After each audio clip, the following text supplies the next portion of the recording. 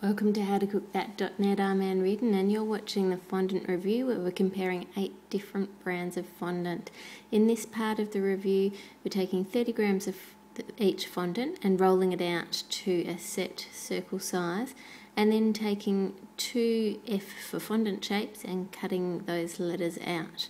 We're then going to leave them on baking paper overnight and then check them in the morning to see how easy they would be to pick up and place onto a cake without them going out of shape. Now you can use gum paste of course for lettering, but we're comparing the performance of each of the fondants if that is all you have available to you.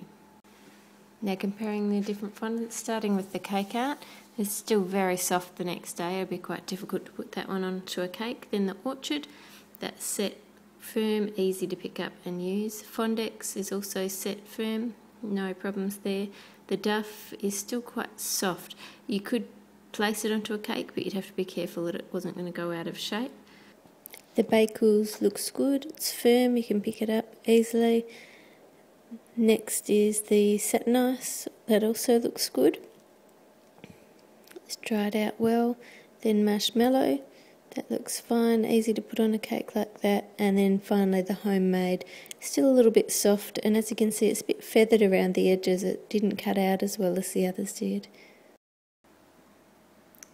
Thanks for watching. Don't forget to click like, subscribe to the channel, and for a full overview of the fondant review, you can go to the blog. There's a link in the description below the video.